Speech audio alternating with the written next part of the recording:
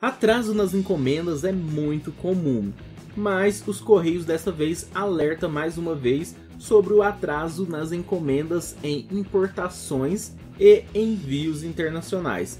Meu nome é Anderson, criei o canal Dragon Tutoriais para trazer dicas comuns para pessoas como eu e você. Hoje eu vou falar desse tema que eu vi essa notícia que eu achei interessante comentar mas não é de hoje que os correios já andam atrasando em relação às nossas encomendas. E agora as encomendas internacionais devem demorar muito mais. Ainda mais que eles destacaram que estão com dificuldade para poder cumprir esses prazos por falta de voos, que isso é uma coisa normal, já que está tudo fechado. A maioria dos países não estão recebendo nenhum voo e também destacaram em relação à diminuição na quantidade de empregados que estão alocados para poder fazer essas determinadas atividades. E isso acaba atrasando também. Se você não tem funcionário, você não consegue trabalhar de forma adequada. Além, é claro, que alguns países tiveram suspensão de entrega. Você não pode entrar, não tem como entregar, então você não vai conseguir fazer essa entrega.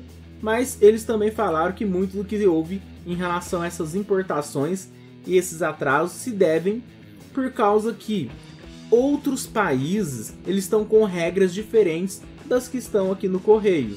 Então, eles não conseguem realizar determinado tipo de entrega, ou não conseguem entregar, ou não conseguem receber. Eu fiz um vídeo há pouco tempo falando que o Brasil fez uma parceria com a China, mas existem diversos países que não têm esse tipo de parceria para poder receber esses produtos. E no caso são muitos. A lista é imensa. E além disso tudo, eles aumentaram essa lista de países que estão com envios suspensos. Ou seja, aumentou bastante.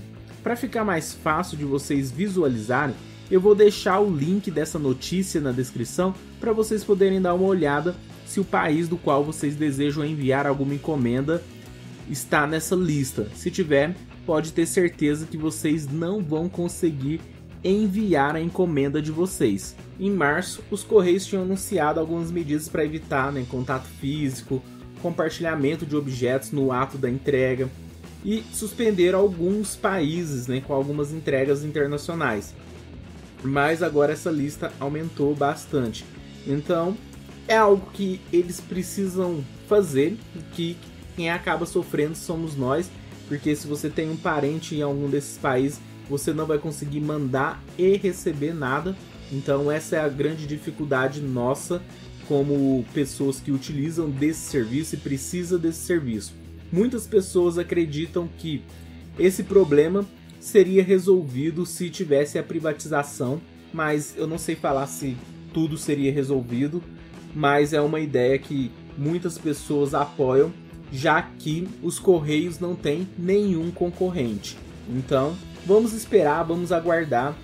Tomara que se resolva o mais rápido possível para que se possa evitar que as pessoas simplesmente não peguem suas encomendas. Espero que eles consigam consertar tudo isso, já que é um problema que está sendo para todos, né, e não só para alguns, algum erro, alguma coisa mas infelizmente eles não estão conseguindo resolver.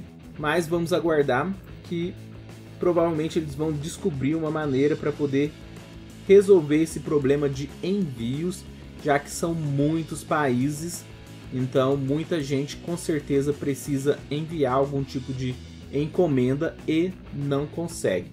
Eu vi também que essa lista tem na suspensão no mês 3 e mês 4 praticamente os países que estão suspensos.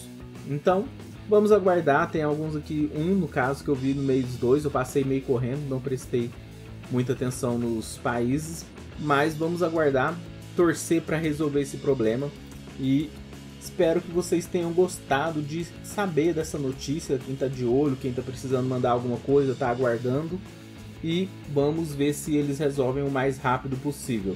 E falem aí o que vocês acham. Os Correios devem ser privatizados ou não? Então vejo vocês no próximo vídeo e até mais!